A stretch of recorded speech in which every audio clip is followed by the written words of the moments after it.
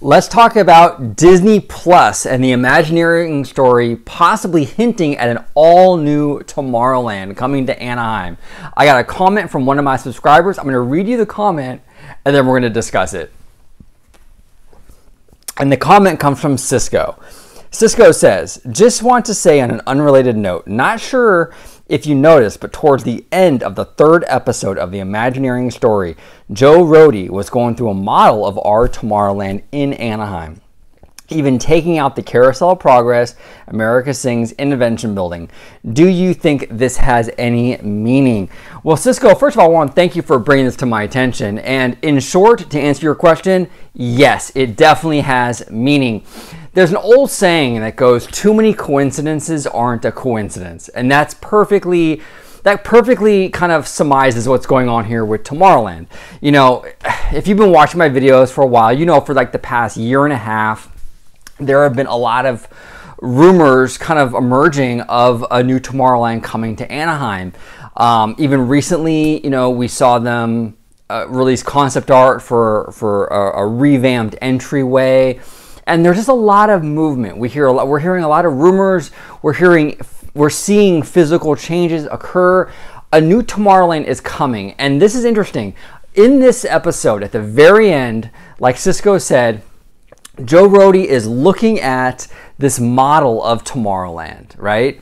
And then he takes the Innoventions building or the, the Star Wars Launch Bay building and he lifts it up and removes it and kind of looks at the model again.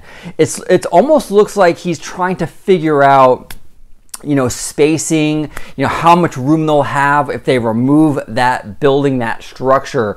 This cannot be a coincidence, you guys. With all the rumors that we've been hearing and and there's just too much going on. There's too much smoke for there for there to be absolutely no fire. Now, this is so exciting to me because Tomorrowland really needs it really, really needs it. And the fact that Joe Rohde, one of the top Imagineers, could possibly be heading this project is very exciting. Um, and also, aside from exciting, I'm actually very surprised that this is kind of gaining as much traction as it has. We've been hearing a lot about Tomorrowland lately, and I've, you know, you guys had known, I mean, I've kind of stood by my theory that Disney wants to do a new a new Fantasyland or a Fantasyland expansion before a new Tomorrowland, and my reasoning for that was because Fantasyland has all the top, you know, powerhouse IPs. Frozen, you know, the fairy tales, Beauty and the Beast. So I just assumed because Disney's like obsessed with, you know, franchises that they would levitate more towards doing something for Fantasyland. It does not, though, appear that way. It really looks like Tomorrowland is going to be the next land to get a lot of TLC, and my God, does it need it?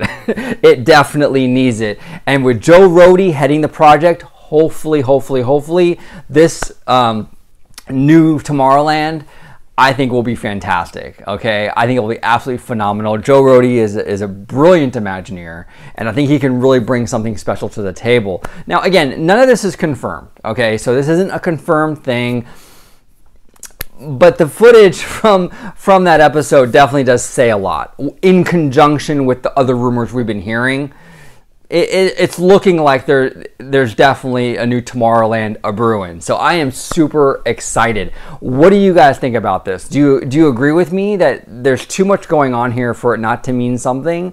Do you disagree with me? I would love to hear from you guys. Thank you all so so much for watching. And as always, have a great big beautiful tomorrow.